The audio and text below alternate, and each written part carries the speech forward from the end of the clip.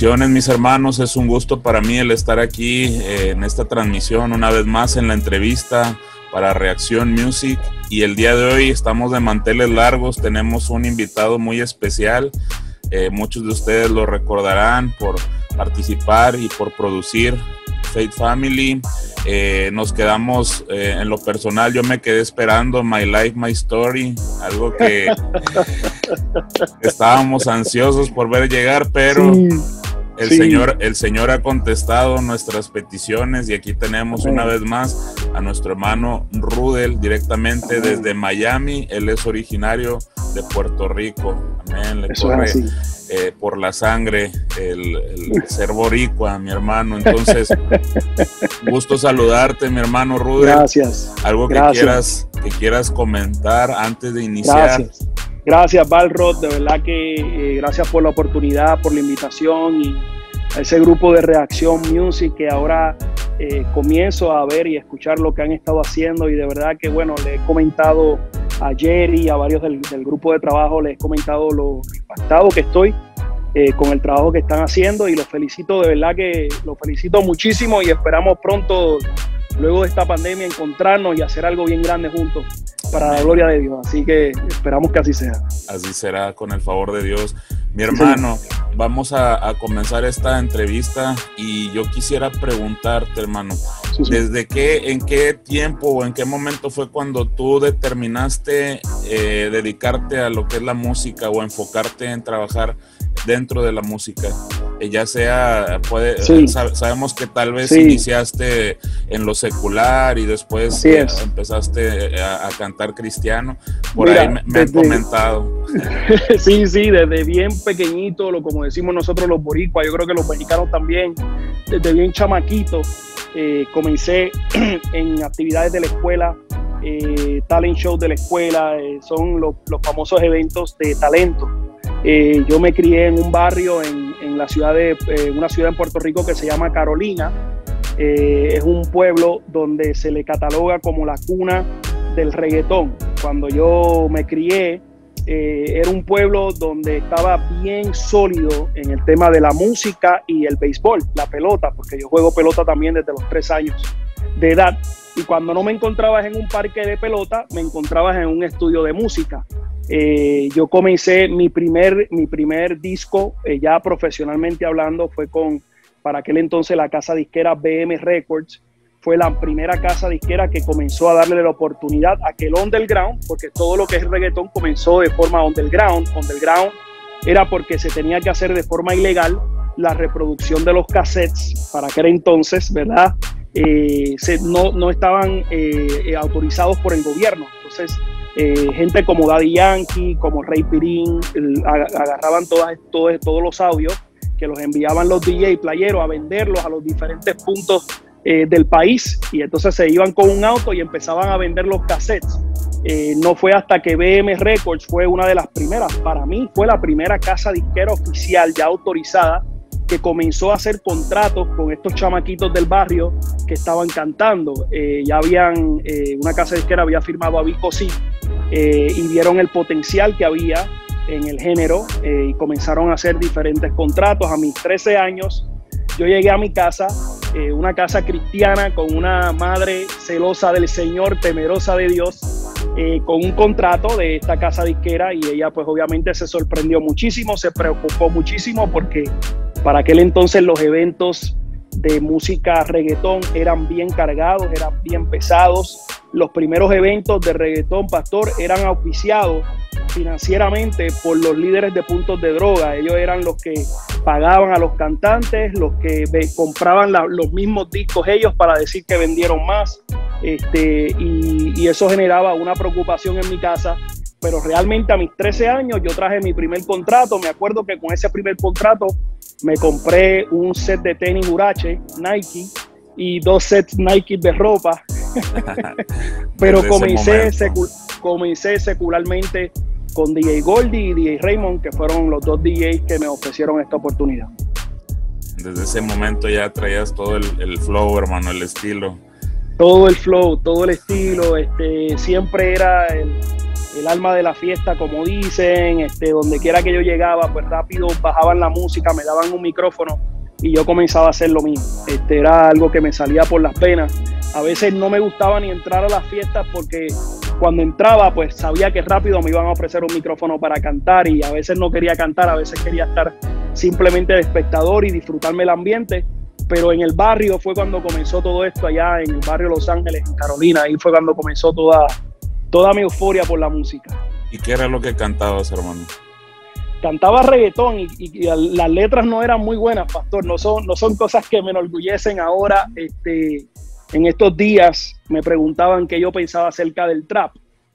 Este, ¿Verdad? Y esa es una pregunta que nos hacen yo creo que a todos los del género. Eh, yo, obviamente, muchas de, de, esas letras cargan un contenido demasiado de muy fuerte, pero también he aprendido eh, a no juzgarlos porque yo estuve en esos zapatos un día. Estuve en los zapatos de hablar de cosas que no, eh, que no me habían enseñado en mi casa, eh, que no se me habían enseñado, ¿verdad? Y cantaba acerca de marihuana, acerca de fiestas, acerca de mujeres, este, pero mira cómo es el Señor.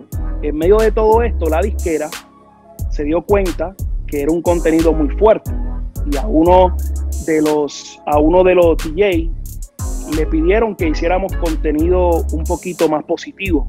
En aquel entonces, recuerdo que Diego Lee hizo una producción que se llamó Rock Reggae, fue una de las primeras producciones eh, que se hizo en, eh, de, los, de los de la calle ya a nivel de, de, casa disquera. Y hizo dos lados, hizo dos producciones en una. Una contenido regular underground y otra contenido positivo. De la de contenido positivo, comenzó a fluir una letra y un estilo muy distinto mío. Eh, y eso a ellos los enloqueció porque pues dijeron, bueno, este muchacho tiene talento para hacer algo comercial, algo que vende este, y algo que atrae la juventud. Eh, pero todavía yo no había tenido un encuentro real y sincero con el Señor en cuanto a mi ministerio, porque fui criado y, crecí en, una, en un hogar cristiano, pero en esos momentos estaba, estaba un poquito rebelde pero mira cómo es el Señor. Ya el Señor me estaba inquietando y estaba comenzando a hacer letras más positivas porque la casa disquera lo estaba pidiendo. Bendición, hermano. Y vemos nosotros como cuando Dios ya tiene un plan para la vida de alguien, empieza el proceso, te empieza a orientar hasta que se cumple. Lo que el Señor, promete, lo cumple, mi hermano. ¿Qué, ¿Qué, recuerdos, hermano, con ahorita que mencionabas los cassettes, ahorita que mencionabas el inicio? Yo recuerdo, hermano, tu primer, el primer tema que escuché de J Squad, lo escuché en una página eh, llamada La Roca. Eh, me parece que el administrador es un, un rapero también, Baby Tone y eran, eran clips, hermano, de 20 segundos. Y si vieras que era, era, era un tesoro, hermano, en ese tiempo para todos los que teníamos el anhelo de, escuchar este tipo de música. Y también eh, sabemos que había personas a las que no, no, compartían, no les gustaba este, este estilo. Pero eh, yo desde ese tiempo, eh, dentro de mi corazón, yo sabía que algo bueno iba a surgir de todo mm. esto, hermano. Mm. Y por eso, al momento de saber que, iba a estar entrevistándote en este momento, mis recuerdos de adolescencia están aflorando, hermano, y créeme, que es, una bendición. Y, y, recordar, ¿verdad? También eh, los inicios de, un, de un joven que, que ahora se ha convertido en, un ministro con trayectoria, pues yo creo que eso nos lleva a darle gracias a Dios por lo que Él puede hacer en la vida de una persona. ¿De dónde, te, ¿de dónde te sacó el Señor, hermano? Eh, y, y, si me pudieras contar un poquito acerca también de, de tu testimonio, cómo fue e, ese llamado, ese impacto que Dios tuvo en tu vida. Claro que sí. Este, originalmente eh, lo, testifico un poquito en el tema de hace días, que yo sé que mucha gente ha escuchado el tema de hace días como parte de la producción de Free Famine. Eh, yo para la época del 96 ya estaba saliendo a muchos eventos, muchos eventos, eh, ¿verdad? Como mencioné, eran auspiciados por gente que estaban en el bajo mundo, gente que ya estaban capitalizando, haciendo otro tipo de negocios ilegales y estaban haciendo fiestas hay mucha gente que no conoce, pero yo muchas veces compartí tarima con Daddy Yankee, compartí tarima con Michael Manuel, con Alberto Stiley, este, y con, con, con Héctor y Tito. Eh, jugamos pelota juntos eh, y después de los parques nos, nos veíamos en, en, los paris en las noches. Este, y ya mis mi ínfulas en la música estaban creciendo al punto que me estaba olvidando del deporte, me estaba olvidando de muchas cosas. Este, había un, un, evento especialmente un fin de semana que era mega importante porque había una persona que estaba invirtiendo mucho dinero en la música de reggaetón y eh, la persona escuchó hablar de nosotros, de lo que estábamos haciendo y la persona iba a ir a esa fiesta a escucharnos para ofrecernos un negocio ya lo que llaman un, negocio de varias producciones, no tan solo de unos temas o de una producción, sino de varias. Eso ya era un acuerdo más serio. Eh, recuerdo que eh, esa semana, como es el Señor, mi madre, eh, ya estaba viendo, las madres vienen con, con, ese, con ese celo de la criatura que Dios puso en su vientre, ¿no? Ya ellas presienten, ya el Espíritu Santo está trayendo unas inquietudes. y esa semana había un retiro de jóvenes en la iglesia que ella asistía. Y en mi casa a veces pues las cosas económicamente no estaban bien, pero siempre ella trabajó para suplirnos todo lo que necesitábamos. Eh, mi hermana mayor también y, siempre buscaban la forma de, de, tratar de llamar mi atención eh, y recordándome la palabra que se me fue dada un día. Recuerdo que muchas veces, eh, eh yo salía y ellas se metían en mi, en mi cuarto y mientras yo estaba cantando por allá, ellas ungían las sábanas de mi cama y las almohadas con aceite. Es algo que me conmueve mucho. Siempre que hablo de esto, me conmuevo porque eh, le doy gracias al Señor porque puso en ellas ese deseo y esa fe de clamar y hacer parte de, en el espíritu lo, lo que ya el Señor había dictado un día. Y yo llegaba a veces de madrugada y, y olía las sábanas y decía, ¿por qué, ¿por qué huelen aceite si aquí parece que alguien estuvo haciendo fritura en este cuarto o algo? Y era que ellas estaban ungiendo la sábana ese fin de semana, cuarto largo, corto.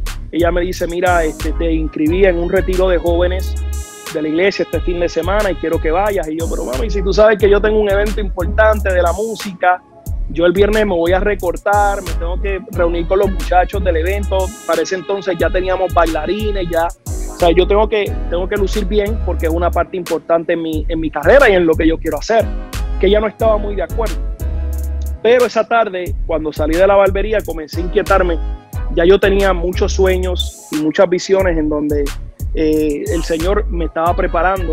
Eh, en muchos de esos sueños, Balrog, yo sentía las balas entrando a mi cuerpo. Eh, sentí que estaba en un lugar que no debía haber estado. Eh, y aunque yo nunca tuve problemas con nadie y fui el muchacho que siempre se llevaba bien con todo el mundo, con mi grupo, no todo el mundo era como yo.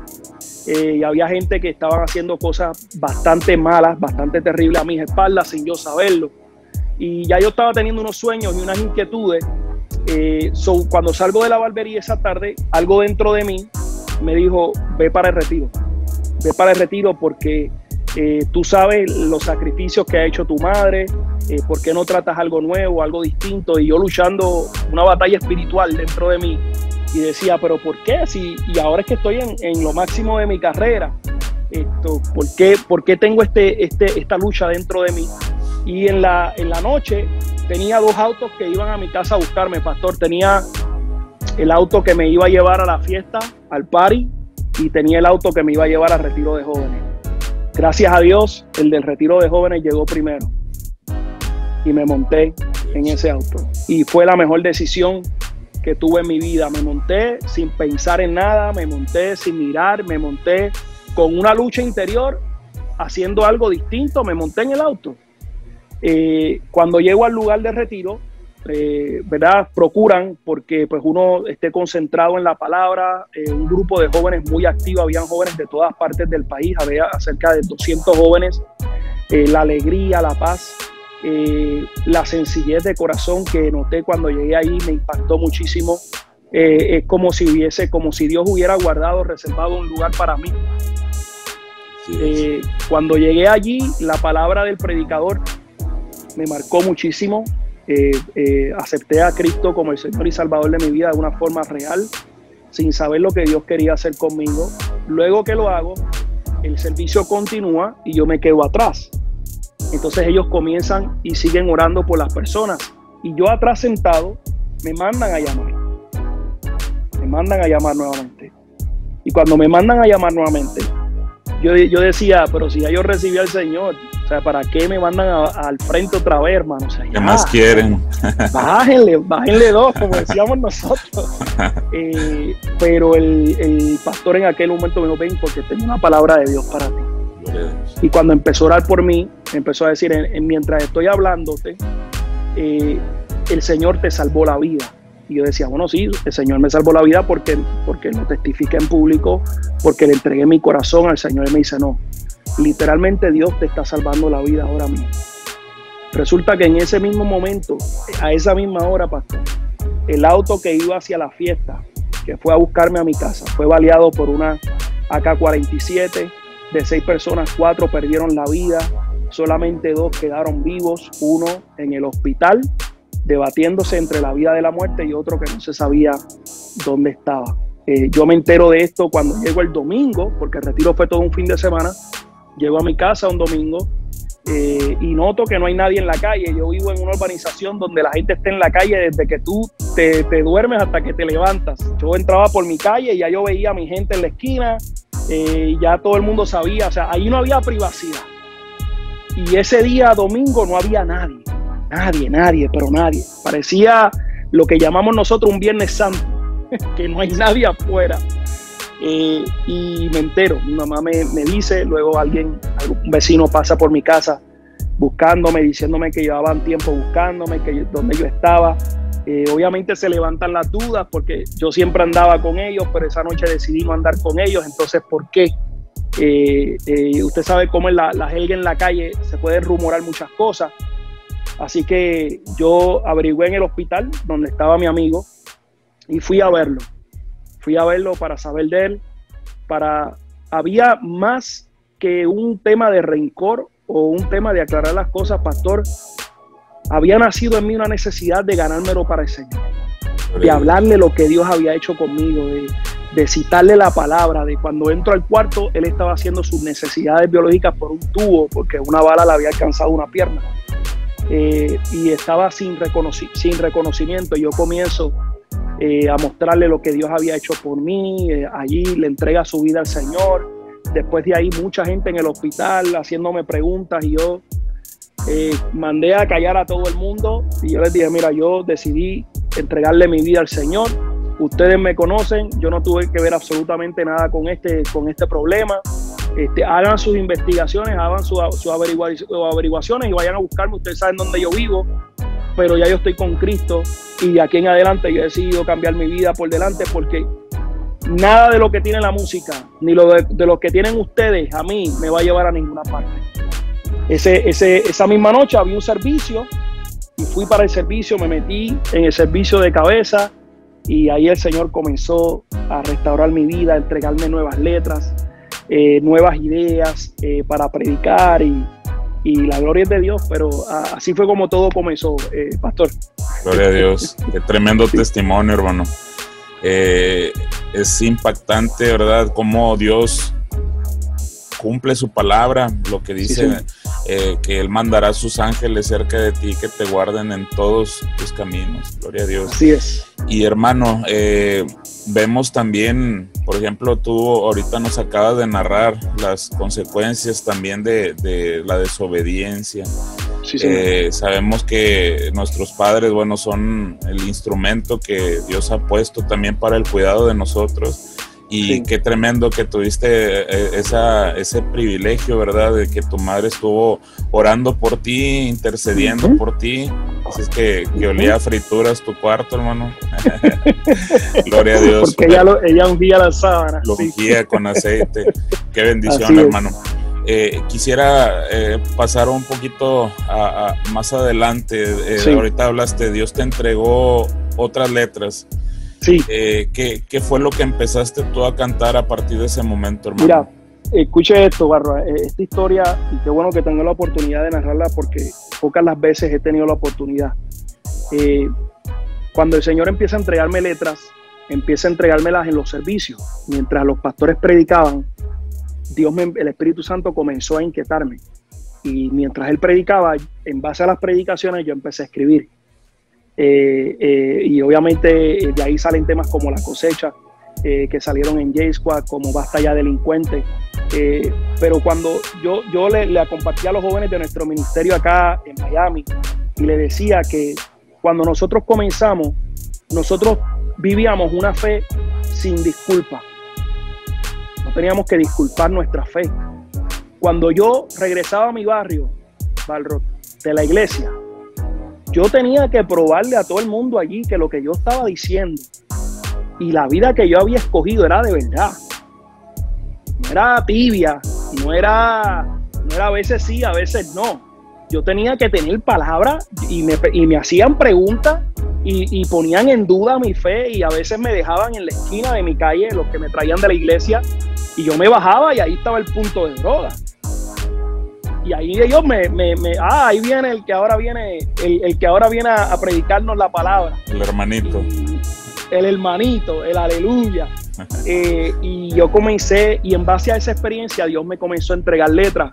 Empiezo para ese entonces en la universidad y me acuerdo que asistí a un grupo de líderes de la universidad, yo tenía una beca, yo siempre tuve buenas, buenas notas, eh, y en, la, en ese grupo había un caballero que se llama Jorge Valet, Valet el patriarca, y en ese me hicieron como un casting de ese grupo de líderes y me preguntan cuál es tu talento, qué talento tú tienes, y yo, bueno, pues mi talento es el béisbol, pero también yo canto. Y me ah, ¿qué tú cantas? Y yo decía, yo canto rap y canto reggaetón, pero mis letras son letras para el Señor. Entonces ya yo me identificaba así y en ese grupo estaba ese caballero que está ahí, Jorge Valete, que fue el, que originó el grupo J Squad eh, y para mí fue uno de los precursores en la música urbana cristiana. Y él cuando escuchó eso dijo, espérate, este muchachito tiene algo y este muchachito es diferente. Y ahí comenzamos a hablar en la universidad y comenzamos a compartir letras, comenzamos a grabar y de ahí es donde sale, donde sale J Squad, para la gloria de Dios. Y hermano, ¿en, qué momento fue cuando dejó de existir J Squad? Yo creo que hay, varios que tenemos esa, esa duda, porque una agrupación de, de, tanto, pues ya, ya tanto renombre, ya conocida en, su momento, eh, deja de existir. Obviamente pueden ser diversos los motivos y, quisiera que nos explicaras un poquito qué fue lo que pasó. Es interesante porque, como decías al principio, nosotros cuando comenzamos J no sabíamos la magnitud ni el alcance que iba a tener nuestra música. Eh, nosotros grabamos en un apartamento pequeño esto, y de ahí empezaron a enterarse muchos medios. Llegamos al punto, nosotros comenzamos yendo a los puntos de droga. Nosotros nos metíamos a los puntos de droga, nos ganamos el respeto en la calle. Hay mucha gente que no sabe esto, pero nuestra música realmente eh, fue acogida en la calle primero, este, eh, sin, sin, ser comercializada ni nada. Eh, yo a veces teníamos tres, cuatro eventos en un fin de semana y salíamos de un lado y nos metíamos en otro. estuve así casi dos años con la agrupación J Squad. recuerdo que llegamos a estar hasta en el, día, en el primer Día Nacional del Rap.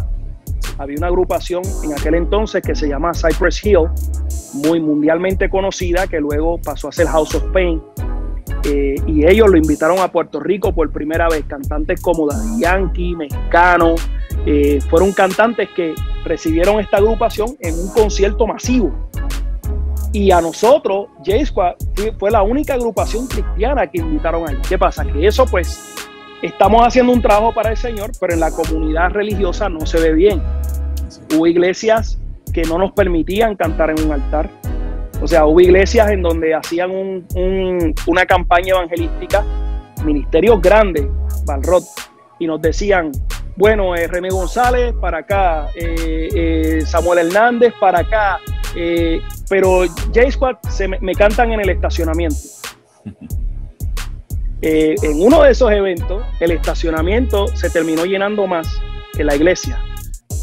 Y es ahí cuando ellos empiezan a decir, espérate, aquí está pasando algo, que si nosotros como iglesia no lo atendemos, vamos a perder mucha de la juventud. Y gracias a esos primeros, como le llamamos nosotros, esos primeros golpes, fueron los que le abrieron las puertas a mucha gente. Cuando empezamos a crecer, yo sigo teniendo ofertas porque yo jugaba béisbol y estaba siendo bastante destacado. eh, llegó un momento en donde yo tuve que eh, agarrar una oportunidad para una beca universitaria en el estado de Iowa. Me becaron y tuve que tomar una decisión de irme a estudiar y a jugar béisbol. Fue una decisión bien difícil, pero le soy sincero, no sabía el impacto que iba a tener la música al, luego, en un futuro. Yo me dejé llevar por lo que estaba pasando en el momento, abandono la agrupación J Squad, eso se dejó saber en todos los medios del país, este, me despidieron en un programa que se llamaba en aquel entonces A Fuego, que era un programa muy conocido, esto, y todo el mundo se enteró que yo me iba para los Estados Unidos. Recuerdo que en un gimnasio que yo iba, iba Daddy Yankee también, y, y Yankee se me acerca y me dice, oye, me enteré que vas a abandonar el grupo, y yo le dije, sí, él me dice, brother, si tú supieras que yo soy un pelotero frustrado, este, también, y todo el mundo sabe, conoce la historia de Yankee. Yankee también iba a ser pelotero, pero una bala también no lo dejó serlo. Eh, y compartimos un poquito la palabra, él es muy temeroso del Señor y me deseó éxito y, de ahí pues yo lanzo para los Estados Unidos, abandono la agrupación, ellos continúan haciendo varios álbumes y nos mantuvimos en contacto a tal punto que luego nos reunimos en una producción que se llamó Peacemaker, eh, que entonces yo los invité a ellos a ser parte y, hicimos este, eh, varios temas juntos. Sí. No, no conocí esa historia, hermano. Es que anteriormente no, no había el acceso eh, a, a, todo mundo a, las noticias. Ahorita, bueno, tenemos ese privilegio, esa grande bendición. Eh, tenemos redes sociales, el internet nos acerca bastante. Pero bueno, yo creo, hermano, que también eh, tanto como ah, ventajas, hay desventajas de que ahorita haya tanta información. Eh, ¿tú, ¿Tú crees, hermano, que el, acceso a las redes sociales haya contribuido también a que se propague un mensaje dañino en la, en la juventud en la actualidad? Claro, Claro, yo creo que, yo creo, la palabra Dios dice que donde abunda el pecado, sobreabunda la gracia, pastor. Y estoy de acuerdo que lamentablemente esta influencia eh, de las redes sociales le hace creer a estos muchachitos una idea que no es, eh, una, una, una, vida que no es. Esto, eh, y, y, eso es parte del tema nuevo que estamos promocionando ahora que va a salir el viernes.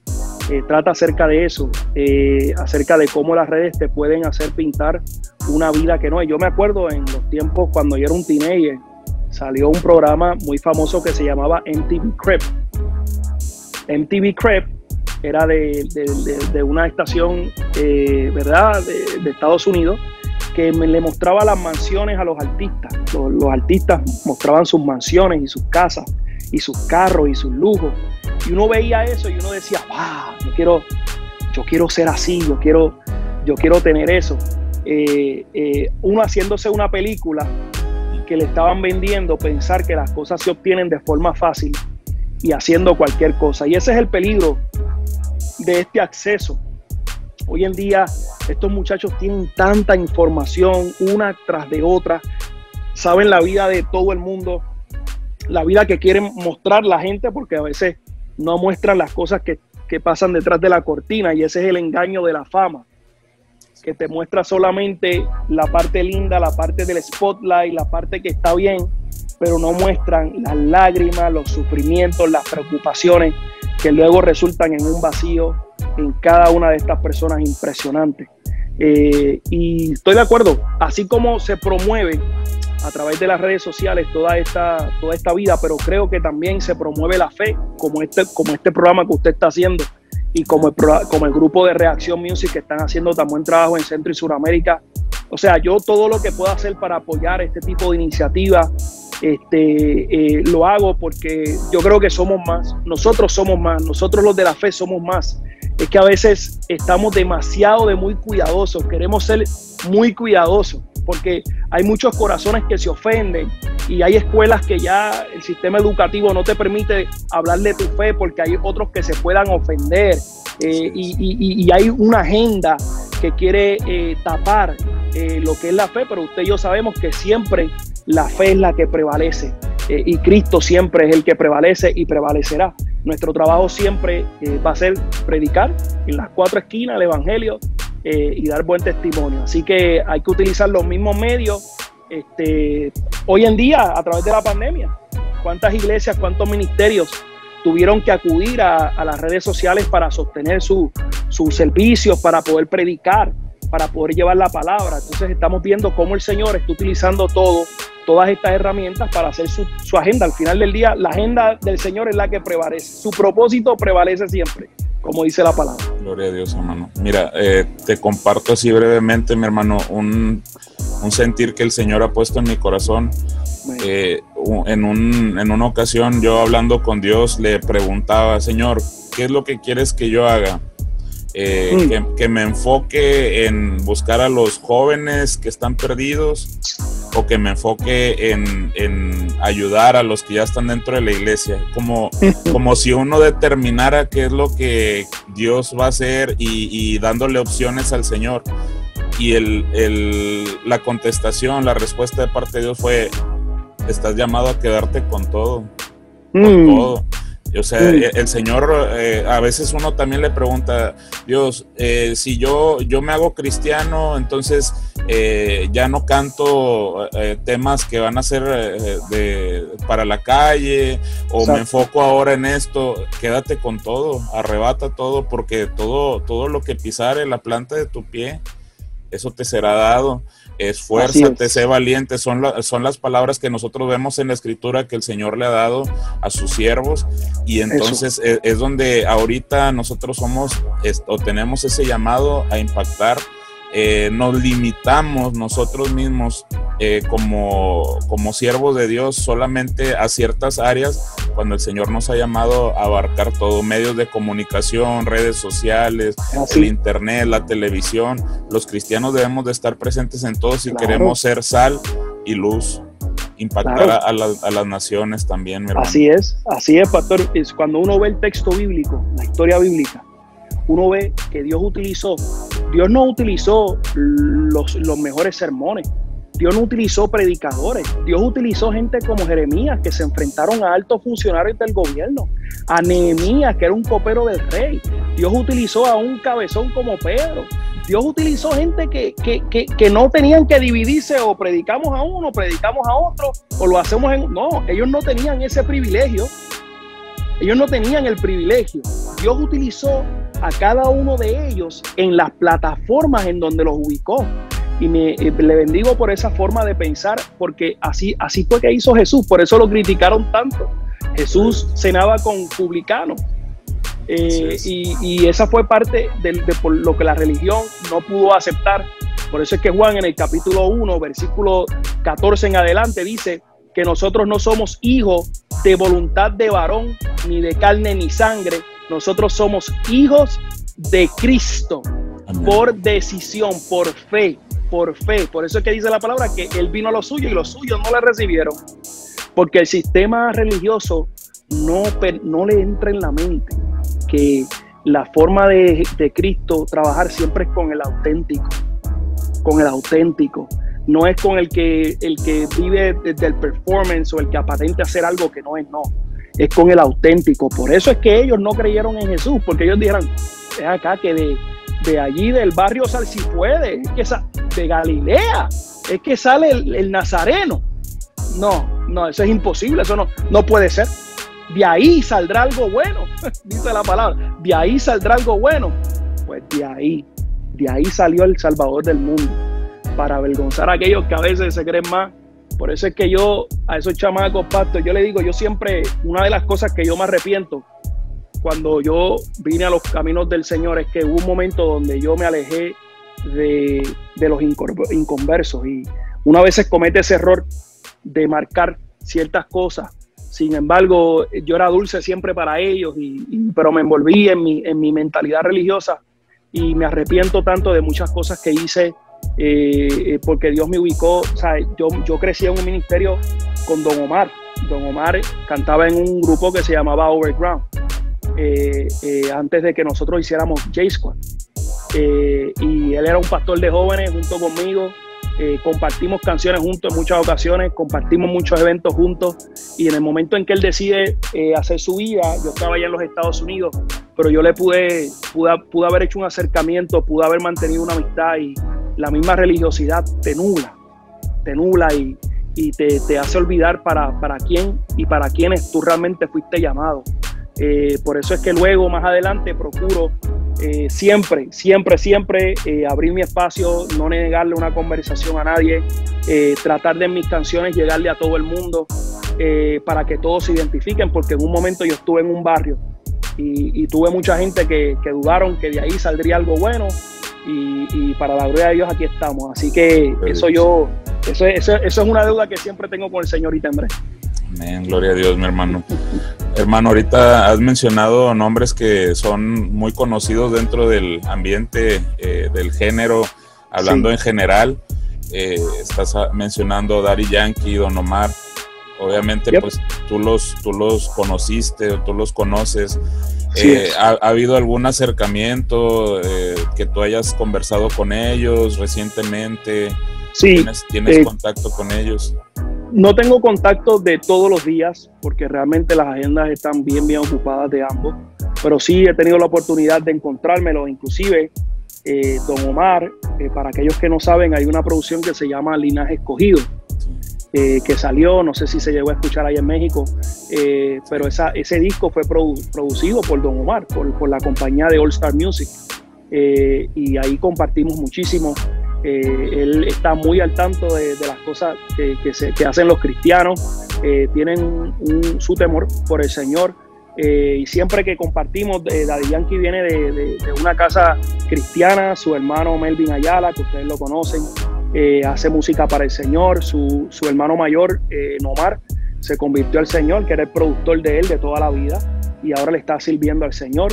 Eh, él viene de un, hogar cristiano completamente y aquellos que no lo saben, él se toma su tiempo todos los años y se retira y, escucha en su momento palabra de Dios.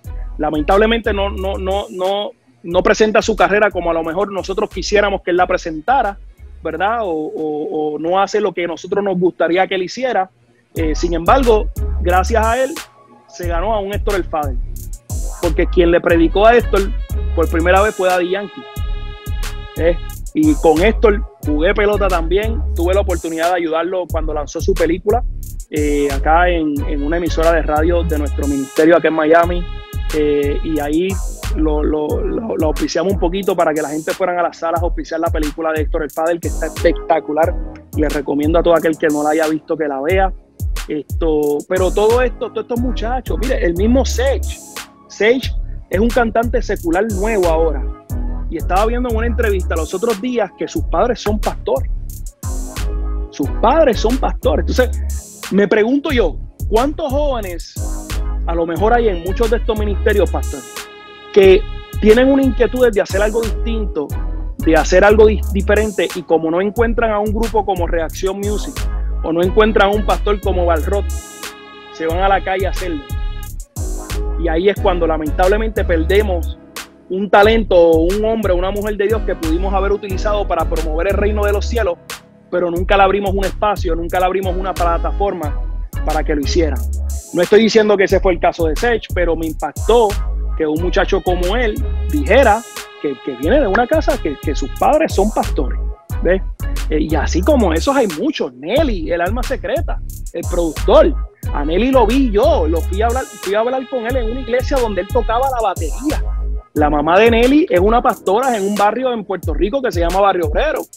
¿Entiendes? Y, y hay mucha gente que no conoce eso, pero muchos de estos muchachos, por no decir todos, vienen de familias donde los padres son pastores o son líderes de la iglesia. O sea que todos ellos tienen un temor, tienen la palabra, tienen la semilla y es cuestión de seguir creyendo al Señor para que todo al final del día pues eh, reconozcan y, se salven sobre todas las cosas, ¿no? Pues, ay, hermano, sin palabras, qué, tremendo esto. Eh, sin duda se ha descuidado en muchos casos a la juventud por el, el sentido religioso, por, eh, porque las cosas se van a hacer de cierta forma porque a mí así me gusta y descuidamos realmente a, los jóvenes, a sus inquietudes, eh, sus gustos, la música también que a ellos les, les atrae. Cuando la palabra de Dios no se hace problema al decir que Dios habita en medio de la alabanza de su pueblo. Así es. Sin importar la presentación, hermano. Así eh, es. Ahorita eh, mencionaste un título que eh, sin duda impactó Linaje Escogido, hermano. Sí. Como recuerdo esa, esa, esa producción. También fue muy cercano al lanzamiento de, de Fate Family y Fate Family The Upgrade.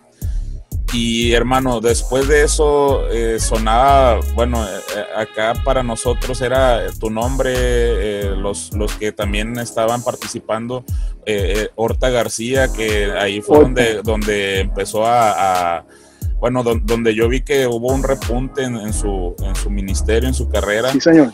Y hermano, estábamos esperando ansiosamente más, más, de, más trabajo de, de Rudel. ¿Qué pasó, hermano?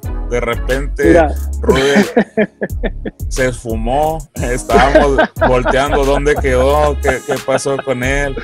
Hubo, hubo, un, hubo un momento donde sí, como, como usted bien dice, Valro, todavía a veces yo pienso que yo subestimé un poco el alcance que tiene nuestra música. Cuando mucha gente no conoce, cuando, sale, cuando sale Face Family, eh, luego de que salimos de la vuelta de Linares Escogido, en Linares Escogido yo conozco ya más cercanamente a Rey Pirín, porque Rey Pirín para aquel entonces estaba siendo el productor musical de la compañía de Don Omar. Eh, se produjeron dos álbumes que fueron Los Bandoleros y Los Bandoleros Reloaded, eh, de música secular. Y, estábamos despuntándonos a través de Linares Escogido. Él me, él me, presenta la idea que él tenía de Faith Family, de la familia de la fe, yo comencé como, como cantante y terminé como productor porque me gustó tanto el, el, producto y, y, los cantantes, habían cantantes de todas partes del mundo, cantantes de España, cantantes de Sudamérica, eso yo nunca lo había visto. Eh, cuando comparto con muchos de ellos me dicen cómo la influencia de J-Squad, la influencia de lo que habíamos hecho antes la ha impactado, el Señor comienza a, hablarme grandemente. Este, y empezamos los dos a crecer, eh, obviamente eh, con lo que fue Faith Family, Luego nos vamos al upgrade. Pirín recibió, Rey Pirín recibió una oferta de una, de una productora eh, para hacer eh, diferentes tipos de música. Eh, obviamente esa fue una oferta que le hicieron a él. luego ya yo me había conectado con Lutec y hicimos lo que fue Face Family The Upgrade, donde rescatamos varios temas, hicimos temas nuevos. pero a decir verdad, Pastor, en ese punto yo no estaba complacido con, con, con el giro que estaba tomando la música de nosotros porque eh, me veía que me estaba encajonando nuevamente en el, solamente en la iglesia.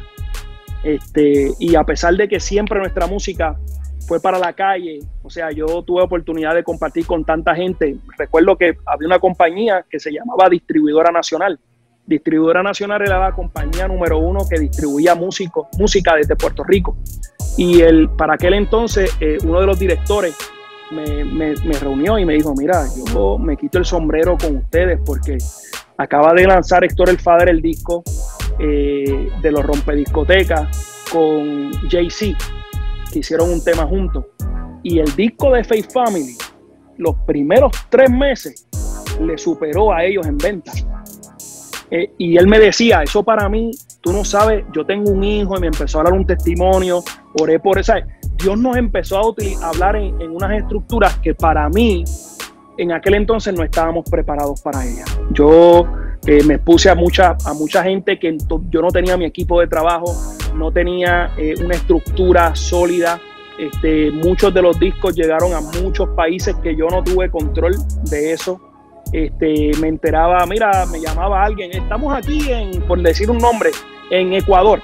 Este, y tenemos los discos de la distribuidora tal y queremos que vengas para un concierto. Y yo decía, pero ¿cómo ese disco llegó allá? Si yo no tengo eso en mi inventario. O sea, para aquel entonces eh, la piratería azotaba muy fuerte cuando alguien como nosotros, que invertimos en un, en un estudio como Nine Fingers Studio, eh, nosotros invertimos mucho capital en esa producción y llegó al nivel que llegó. O sea, para que ustedes entiendan, el estudio donde nosotros grabamos, Faith Family, es un estudio que era reconocidamente hablando, uno de los más equipados en el Caribe.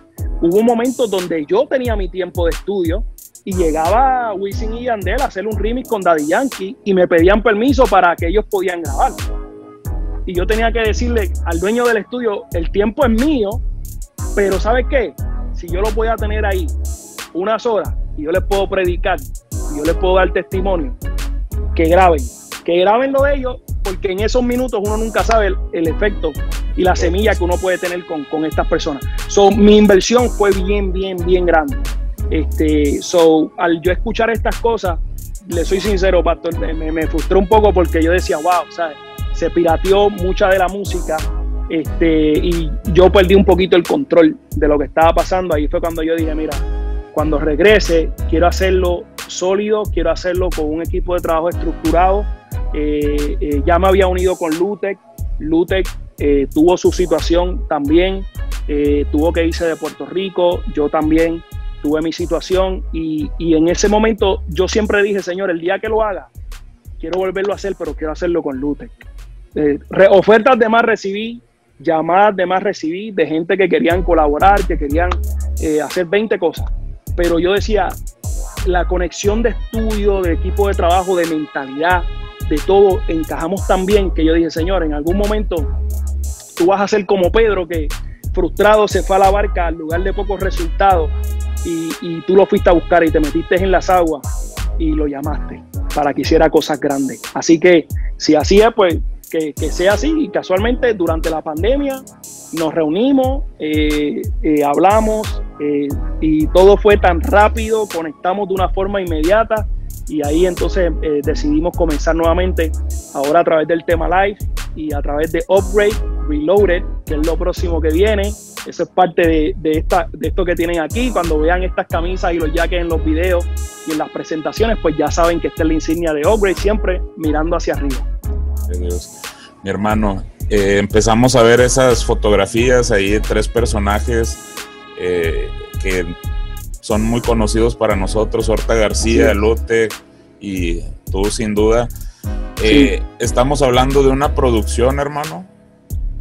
Sí, estamos hablando de, primero vamos a lanzar tres temas, son tres temas, ya el viernes, este viernes, sale el primer tema que es el mío, se titula Alive. Solamente les voy a decir que lo vean hasta el final. No lo dejen de ver hasta el final, porque al final, al final hay una sorpresa que va a conectar las demás cosas que vienen. Así que eh, les aconsejo que lo vean hasta el final. Es un tema que trata acerca de eh, eh, la, fuera, la, fuera, la falta de control en los jóvenes con las redes sociales, cuando comienzan a aparentar ser algo que no son. Este, tuvimos la oportunidad de grabarlo aquí en Miami. Eh, Lutec hizo la música, eh, su equipo de trabajo produjeron el video espectacular. Deja que vean, cuando vean esas tomas, eh, las cosas que logramos hacer para llevar el mensaje fascinante.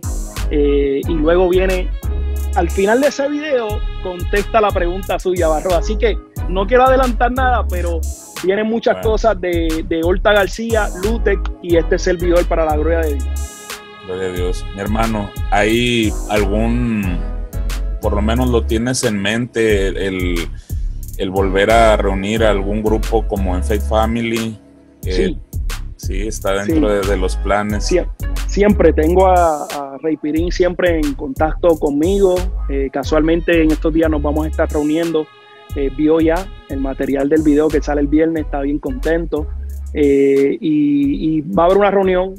yo estoy seguro que le han pedido bastante eh, la compañía Rimas es una compañía secular muy conocida porque están detrás de cantantes como Bad Bunny, como eh, Tito el Bambino y demás. Eh, obtuvieron lo que es el, movimiento digital de Faith Family.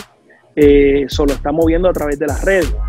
¿Qué pasa? Que han visto el movimiento y han visto que tiene su público leal eh, y eso para mí me llena de gozo que un disco que se hizo hace que 12, 13 años, este, hayan grandes corporaciones detrás de él, me habla mucho de, lo que, de lo que el Señor es capaz de hacer. Así que Faith Family 2 viene, eh, viene algo nuevo con The Upgrade eh, y vienen muchas sorpresas más. viene, viene, vienen talentos nuevos que van a estar escuchando ya desde la segunda producción. Este, y sabemos que esto va a ser el comienzo de muchas cosas que se van a abrir porque todavía no mucha gente se han enterado que estamos de vuelta y tan pronto se enteren, pues sabemos que van a, van a hacer el acercamiento también. No me quisiera despedir sin preguntarte, hermano. Eh, estamos hablando de, de, vas a traer nuevamente el sonido de la vieja escuela o, vas a adaptarte a lo que se está consumiendo en la actualidad, los jóvenes. Eh, yo, bueno, te voy a hablar de, mi punto de vista. Yo siento, o yo, yo lo que percibo, lo que veo es que lo vieja escuela viene fuerte otra vez, Está regresando, está retornando. Obviamente se está adaptando, ¿verdad? A algunas cosas, pero yo creo que, que este es el tiempo para que aquellos ministros que tanto nos deleitaron en ese momento con su talento vuelvan a explotarlo una vez más. Pero no sé Eso es. tu, pensamiento, hermano. ¿Cuál es tu opinión? nosotros no cancelamos ningún género. Este, si, si en, un momento, si a mí me, se me pide que haga un trap, y he tenido mucha gente que me han pedido, me han dicho, Rudel, estamos deseosos por escucharte en un trap. En su momento va a venir, va a venir. Pero Sí, he tenido gente que me han escrito y me dicen, yo no entiendo por qué la euforia del trap, si ustedes están haciendo trap desde hace años. Cuando usted escucha Faith Family, el remix, eh, eso es trap.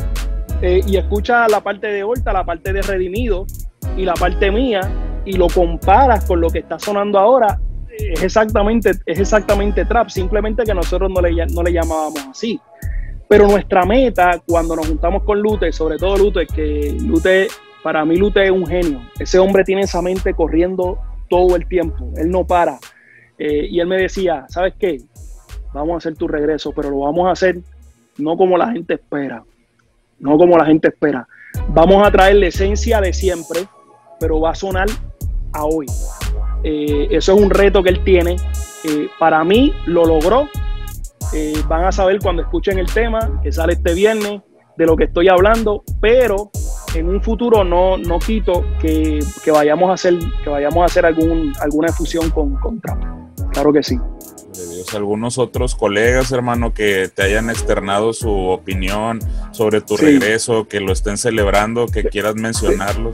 Sí, este, Ober, el arquitecto, el productor de Manny Monte y, y productor musical, siempre se pasa en conexión conmigo. Yo lo bendigo mucho. Eh, Don Misionero, esto, eh, Moya, eh, he tenido el acercamiento, estuvimos hablando con Redimido, porque originalmente pues Faith Family Remix se hizo con Redimido y al hacer ahora lo nuevo, que se va a llamar Faith Family Reloaded, la gente va a preguntar, porque van a decir, ¿y qué pasó con Redimido? Eh, pero sabemos que él está, está, bien ajetreado, tiene mucho trabajo, pero sabe y, nos escribió que lo, que lo que necesitáramos siempre estaba ahí su respaldo. Esto, obviamente, pues ya hablé de Horta García y he tenido mucho, mucha gente que me ha escrito. Esto, eh, quiero tomar un tema a la vez. Me han, me, han, me han tratado de preguntar para unirnos y hacer otros proyectos y lo voy a hacer en su momento, pero quiero primero lanzar este primero y quiero hacerlo un tema a la vez, de forma ordenada y ver dónde el Señor nos va llevando, pero definitivamente van a escuchar grandes sorpresas. Eh, ya estamos tratando de coordinar con alguien que no tiene que ver con el género urbano, eh, pero es muy conocido en la música. Este, eh, hace otro tipo de música, pero le tenemos una propuesta porque queremos hacer hace días, pero lo queremos hacer con una fusión, una fusión un poquito más moderna eh, y yo sé que va a ser algo más acústico, algo, algo que guste más. Así que no, no quiero decir más, más, detalles porque si no Lutec me va, me va, me va a escocotar como decimos nosotros. Pero pendiente, sí, sí, sí, sí, sabemos que hay otros ministerios que se van a seguir uniendo. Así que estamos contentos por eso. Entonces Faith Family Reloaded, bien hermano.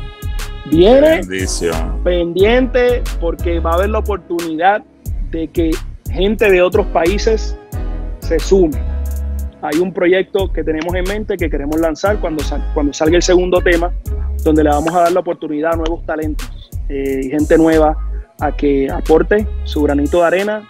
Eh, pero esa oportunidad viene y vamos a contar con Reacción Music para que nos ayude a mover eso y nos ayuden sobre todo con, con los talentos nuevos que queremos ayudar. Aquí estamos, hermano, a la orden. Qué bendición. ¿Dónde la gente te puede localizar en las redes, hermano? ¿Cómo te encuentran? Rudel Oficial a través de Instagram, Rudel Oficial, arroba Rudel Oficial a través de Instagram y a través de Facebook, Rudel Online. Rudel R-U-D-E-L Online. Esas son las dos cuentas oficiales porque hay muchas otras cuentas, pero las oficiales son es Rudel Oficial en Instagram y Rudel Online a través de Facebook y luego cuando salga el video por, por, YouTube este viernes lo vamos a lanzar a las 11 y 59 de la noche, hora este de los Estados Unidos, hora de Miami a las 11 y 59 de la noche. vamos a estar lanzando el nuevo video de Alive. Así que yo sé que va a ser una bendición. Es, eh, todo la gente lo va a escuchar, pero sobre todo esos jóvenes que están eh, luchando con las redes sociales y esos padres también que están buscando una herramienta para poderle predicar a los jóvenes y, para que sepan que no todo se consume por lo que tú ves en las redes sociales, que el llamado de Cristo va más allá y todo lo que queremos hacer aquí y todo lo que buscas que el Señor hacer a través de ti por las redes sociales es que seas tú mismo, es que seas tú mismo, es usar tu, autenticidad. Eh, eso es lo que se quiere mostrar a través de las redes. Así que de eso trata el tema. Pendiente, este viene a las 11 y 59, Balrot. Pendiente allá al grupo de Reacción Music que, que, me apoyen y que, y que me den sus comentarios también. Claro a ver qué les pareció. Claro que sí, sin duda va a ser algo tremendo, hermano. Una bomba que viene que va a detonar este próximo viernes a las 11.59 y lo vamos a estar esperando, mi hermano. Así es. así pues estamos a la orden, ya sabes, Reacción Music es tu casa, mi hermano. Qué bendición conocerte. Es una persona que transmite mucha, mucho gozo, que simplemente de escucharte, hermano, te, me trasladaste nuevamente a mi adolescencia, donde disfrutaba el género urbano a todo lo que da con, en mis Walkman, con mis cassettes. Así era que si tú, eras, si tú eras de padres cristianos, al igual que yo, yo, para los que no saben, yo agarraba los cassettes de Guille Ávila eh, y, y les metía la música del mundo para que mi madre no, me regañara, porque yo no se supone que estuviera escuchando esa música y le grababa por encima.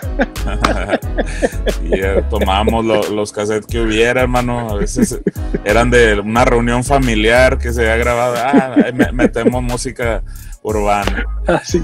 No, hermano, qué, bendición el, conocerte, mi hermano. Un gusto y, pues aquí estamos a la orden. No sé si quieras despedirte con algún mensaje, hermano.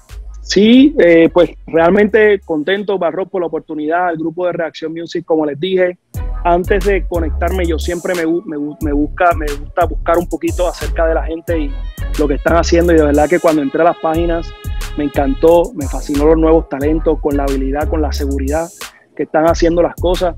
Eh, hay un llamado dentro de mi espíritu que se está levantando para la juventud de hoy. Hay una agenda de querer ocultar o limitar la fe cristiana eh, a todos los jóvenes que están haciendo música, que están predicando, que están dedicando sus artes al Señor. No disculpes tu fe. No disculpes tu fe. El reino de los cielos es de los valientes y solamente los valientes son los que lo arrebatan. Donde quiera que usted vaya, usted promueva su fe sin ofender, siempre en amor, pero no la disculpes, no la disminuyas, no disminuyas el llamado, ilusión que Dios ha puesto en ti por hacer sentir bien a nadie. Lo que Dios puso en ti, lo puso para que se, sea puesto como, un, eh, como una, una linterna encima de una mesa, dice la palabra, no debajo de la mesa, encima de la mesa para que alumbre todo el que cruza en su camino. Así que dele para adelante, dele sin miedo, porque usted se va a sorprender a dónde Dios lo va a llevar con ese talento. Los bendigo mucho y aquí en Miami tienen un hermano, una familia.